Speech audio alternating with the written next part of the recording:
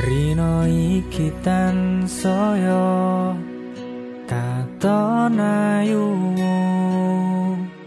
Endah esem kuyumu. Kekayuan tansah nyawiji Kekayuan tansah nyawiji bakal kasembatan uga Gusti ngijabahi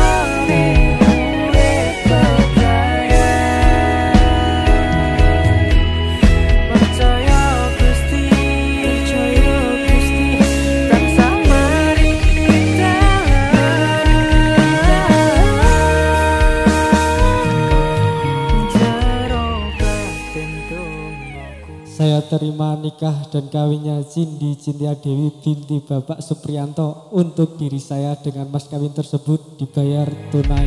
Yeah.